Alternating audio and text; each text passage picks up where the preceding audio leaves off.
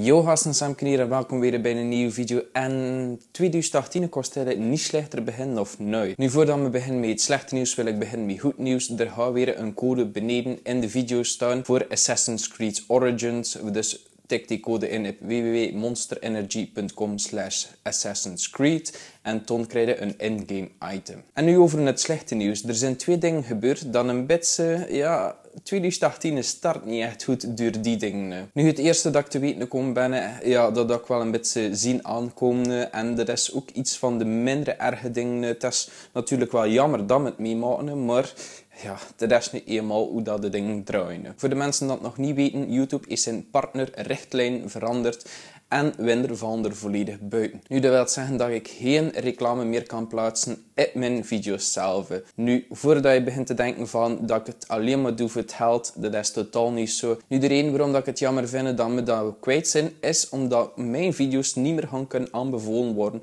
aan nieuwere kijkers. Klein voorbeeldje. Je hebt twee video's. Eén waar dat er wel reclame op komt, één waar dat er geen reclame op komt.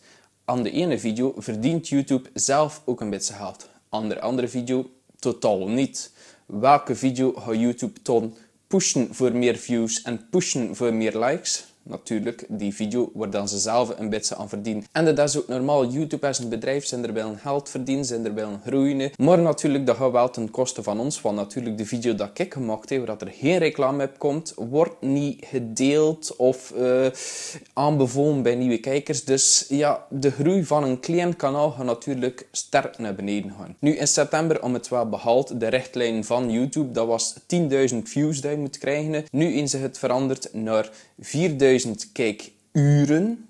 Uren, hoor het mij ook heel goed zeggen. Uren en 1000 abonnees. Nu, win 95 abonnees, dus zeker nog niet de 1000. En de aantal kijkuren hebben we ook niet bereikt. We zitten nog maar aan 37.000 kijkminuten en je moet er 240.000 kijkminuten in voor in aanmerking te komen. Maar we blijven verder doen. Ooit gaan we wel dat getal bereiken van 1000 abonnees en 4000 kijkuren. Nu, langs de ene kant is het wel jammer dat we iets verliezen op we dat bereikt zijn, maar langs de andere kant, ey, veel verdien ik er ook niet mee met YouTube. Dus dat we dat eigenlijk kwijt zijn, voor mij maakt dat eigenlijk niet uit. Maar dan gaan we over naar het tweede slechte nieuws dat we gekregen in deze weken. En dat is wel een heel stukje erger voor mij. Laat dus zo.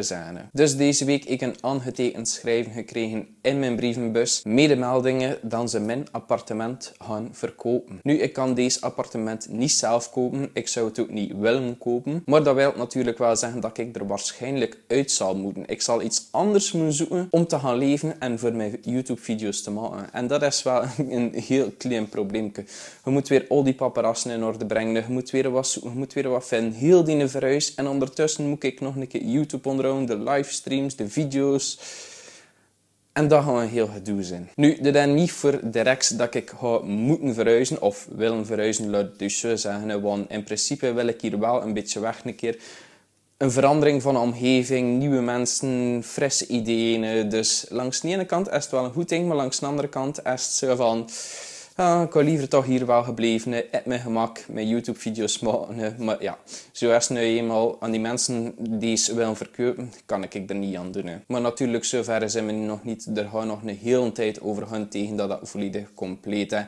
Natuurlijk ga ik wel een beetje kijken naar de plekken waar dat kan verhuizen. Nu, dat was wel heel slecht nieuws dat kreeg deze week. Mijn YouTube-advertenties dat niet meer deuren gaan en mijn appartement dat verkocht wordt slechter kost 2018 het niet beginnen. Echt waar. Maar ja, dat is niet eenmaal zo. We gaan er nu moeten leren mee leven dat we hier weg moeten. Of weg willen, dat nu zo zijn. De mensen smijten mij niet buiten, dus ze willen verkopen, maar dat in de volste recht Maar het moet je natuurlijk wel weg. Voilà, dat was het voor deze week. Ook al was het slecht nieuws dat ik breng, hopelijk je er toch een beetje van genoten. Vergeet me zeker niet te volgen op Facebook, Twitter en YouTube. En tot de volgende keer.